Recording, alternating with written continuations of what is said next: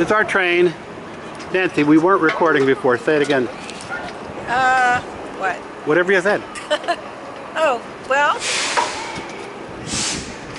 it's uh, it's been a very nice trip. We really like Switzerland.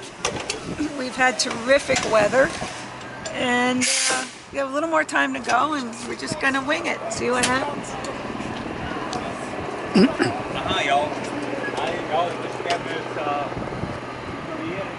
Couple onion domes up there. Notice that the first class, the first class cabin's empty. Huh?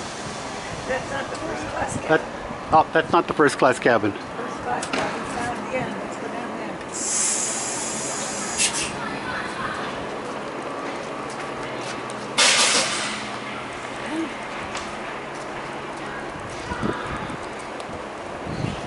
Let's get back in the train. Okay? This is first class right here. Look. No one. No, it's not. There's two on. First class is down Let's get in.